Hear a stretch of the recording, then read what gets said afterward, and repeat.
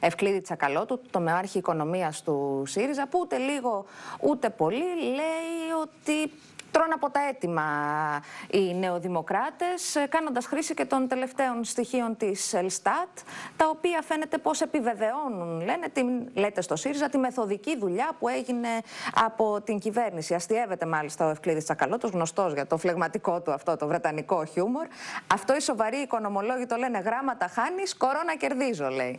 Τι γίνεται, τους αφήσατε πεδίων δόξης λαμπρό και τώρα καρπώνονται τις προσπάθειες που κάνατε εσείς στην οικονομία, γιατί κάτι τέτοιο καταλαβαίνω τι λέτε. Ε... Και αν ναι, γιατί δεν σας ψήφισαν και πήρανε 40% οι νεοδημοκράτες; Ε, κυρία Γιάμαλη, νομίζω ότι έχουμε κάνει σαφές όλο αυτό το διάστημα και νομίζω ότι ε, πολύ εύκολα όποτε χρειάστηκε το τεκμηριώσαμε ότι στην πραγματικότητα ε, όλες οι θετικές εξελίξεις που αυτή τη στιγμή ε, παρουσιάζονται και παρουσιάζει η ελληνική οικονομία. Δεν, είναι, δεν έπεσαν από τον ουρανό, ούτε πολύ περισσότερο είναι αποτέλεσμα της κυβερνητικής αλλαγής που προέκυψε από τις mm εκλογές του Ιουλίου. Ε, οι οικονομίες έτσι κι αλλιώς δεν λειτουργούν με βάση τις πολιτικές εξελίξεις, έχουν τους δικούς τους ρυθμούς, τις δικές τους ταχύτητες, τις δικές τους αιτίες και τα δικά τους αποτελέσματα. Αυτά που βλέπουμε τώρα λοιπόν ως αποτελέσματα ε, έχουν αιτία όλη αυτή την εξυγίανση τη δημοσιονομική που επήλθε στη χώρα και που την κατέστησε στην πραγματικότητα, για να το πούμε πολύ καθαρά στους τηλεθεατές μας, ε, την Ελλάδα αυτή τη στιγμή ως μια χώρα από τις ελάχιστες της Ευρωζώνης με τα πιο υγιή δημόσια οικονομικά. Τώρα με υπάρχουν καινούργια από τη μια με μεγάλο κόστος, αλλά το αποτέλεσμα τουλάχιστον αυτό που υπάρχει αυτή τη στιγμή εκδηλώνεται σε, σε διάφορους τομείς ε, είτε μιλούμε για τα μακροοικονομικά μεγέθη, είτε μιλούμε για τους δείκτες ε, της ανεργίας κλπ.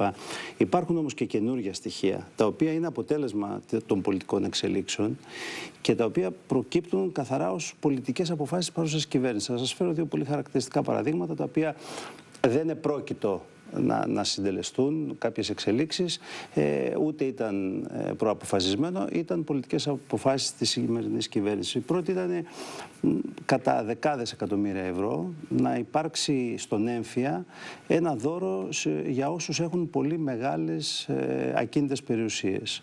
Ε, εμείς έχουμε παρουσιάσει και τα στοιχεία στη Βουλή, είναι δεκάδες εκατομμύρια ευρώ που δεν επρόκειτο αυτή τη στιγμή να πάνε στις πολύ μεγάλες περιουσίες και στους πολύ πλούσιους και όμω πήγαν με απόφαση τη κυβέρνησης Μητσοτάκη. Mm -hmm.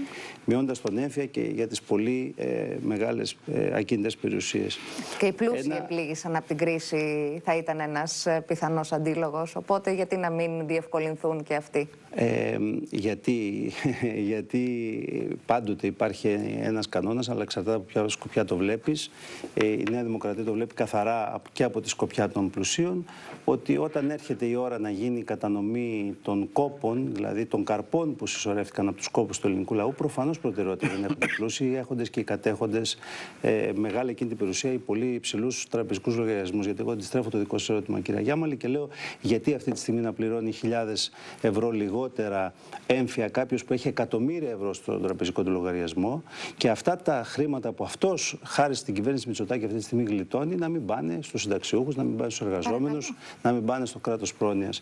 Ένα δεύτερο παράδειγμα που επίσης είναι πολύ χαρακτηριστικό ως απόδειξη της πολιτικής επιλογής της καινούργια κυβέρνησης ναι. και είναι αποτέλεσμα των εκλογών είναι η περιβόητες αυτές ε, ρυθμίσεις που κάναν στα εργασιακά, με τις οποίες ξυλώσανε ένα ολόκληρο δίκτυο προστασίας των εργαζομένων, που σας θυμίζω ότι έγινε και αφορμή και αιτία αρχές Αυγούστου να έχουμε στα μεταπολιτευτικά χρονικά το πρωτοφανές αρνητικό ρεκόρ για μια κυβέρνηση να τις αποχωρήσει από τη Βουλή σχεδόν το σύνολο της αντιπολίτευσης.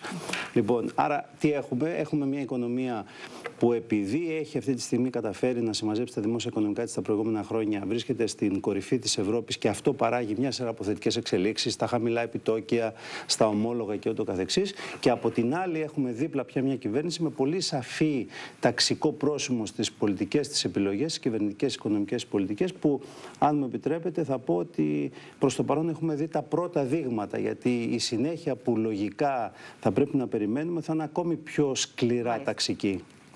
Κύριε Δίκα, μια, σύντομη απάντηση. μια σύντομη απάντηση. Παρακαλώ, απαντήστε.